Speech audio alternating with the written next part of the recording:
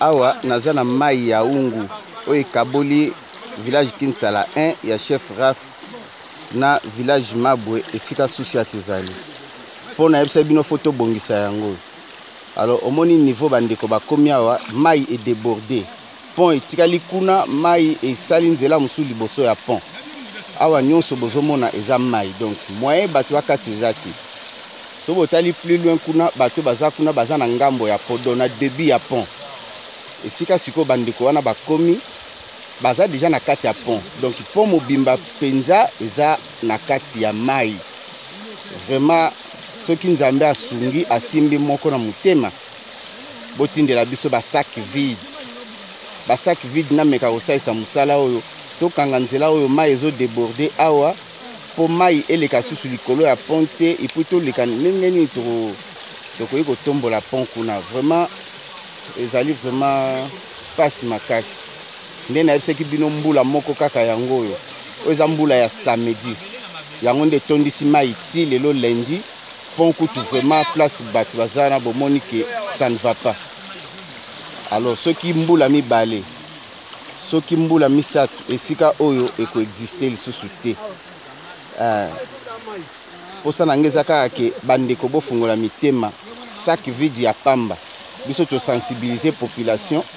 mpo tomeka kobongisa esika oyo en attendant basolution mosusu eh, ezwama Vraiment ekozala esengo makasi. Nazwi image oyo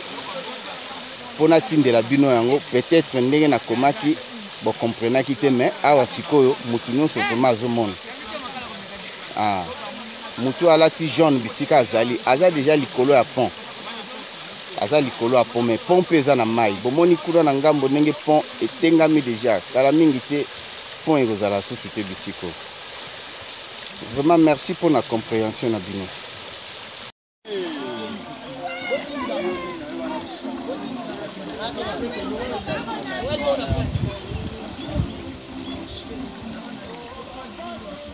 Ha!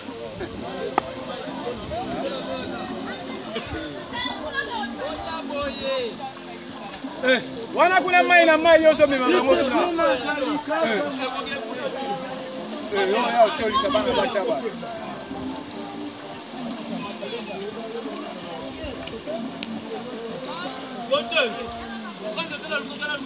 bana balongolaka oyo wana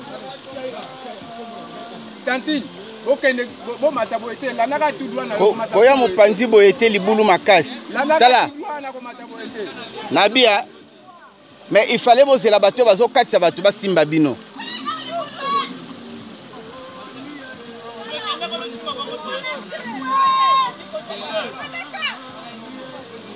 na bia kila kila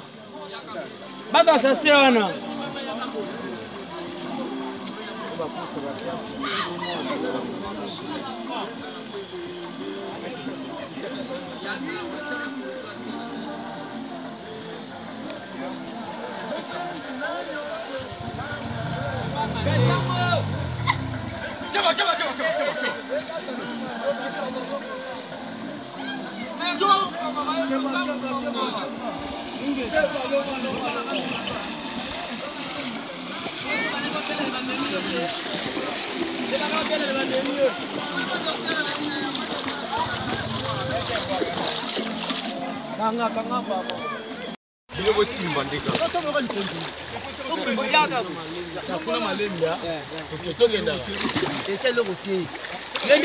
bandeko oyo bazokatisa malembe malembe eh, naolanda makolo na ngai ti ndenge na boye keba kuna koto okende kuna mai esika euti yango mokolo mai direction eyeli direction mai eyeli yango ti mpo eya kokoma awa epuis edeborde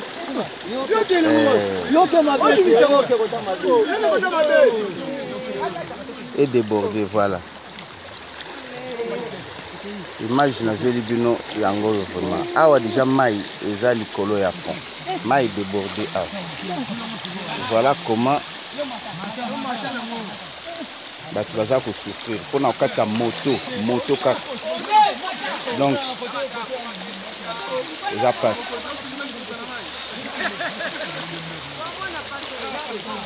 eza mpasi oyo oh, mai nzela mai fo ekende yango wana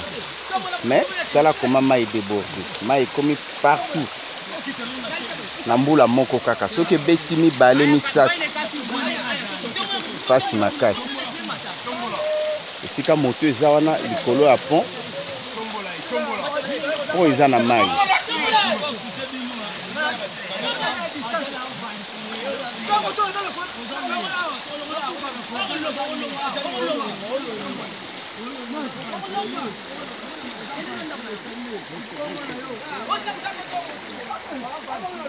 oyo oh, kuna baza na rive mosusu